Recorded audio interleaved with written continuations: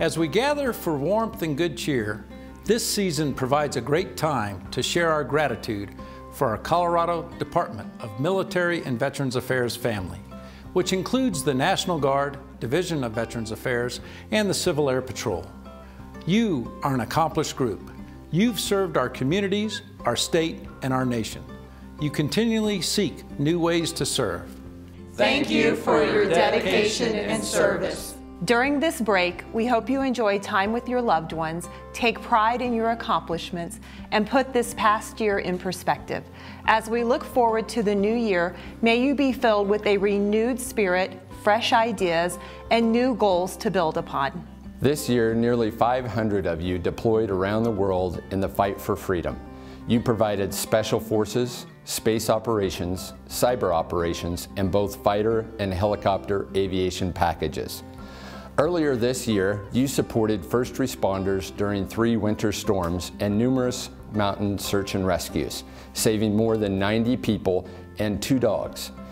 Our exchanges conducting joint training with our partners Slovenia and Jordan spread goodwill, friendship, and promote cohesion among our allies while enabling greater international security.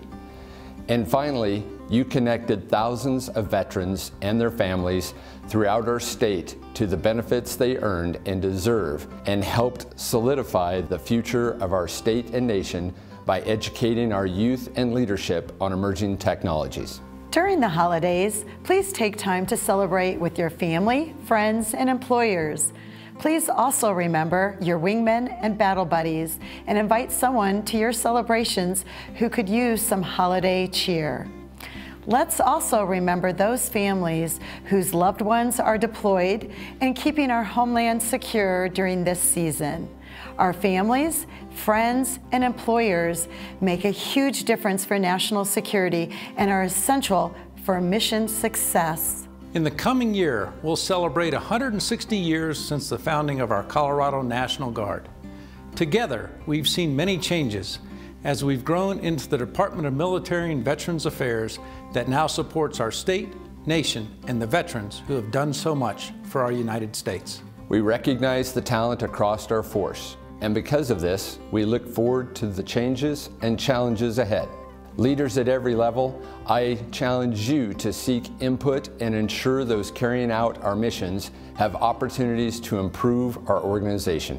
As department members, you've demonstrated exceptional skill and professionalism in everything you do. May the joys of the season shed light and hope and fill your hearts with peace. Happy holidays!